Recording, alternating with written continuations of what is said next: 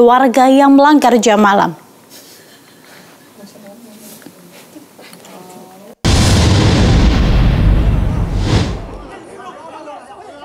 Rekaman di media sosial menunjukkan sekelompok polisi menyeret beberapa penduduk Yangon keluar dari rumah mereka dan memukuli mereka di jalan pada Jumat malam 12 Maret.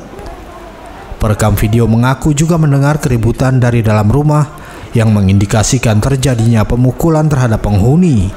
Jam malam di Myanmar diterapkan mulai pukul 20 waktu setempat. Jam malam diterapkan sejak maraknya aksi protes menentang kudeta militer di Myanmar pada awal Februari 2021. Rekaman video lainnya menunjukkan para prajurit di lorong di tengah suara tembakan berkali-kali.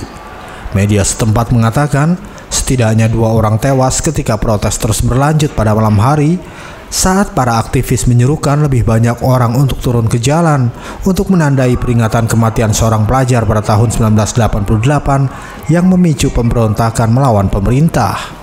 Para pemimpin Amerika Serikat India, Australia, dan Jepang berjanji untuk bekerja sama memulihkan demokrasi di Myanmar di mana kekerasan telah meningkat ketika pihak berwenang menindak protes dan pembangkangan sipil. Dari Yangon, Myanmar, kontributor Nusantara TV melaporkan.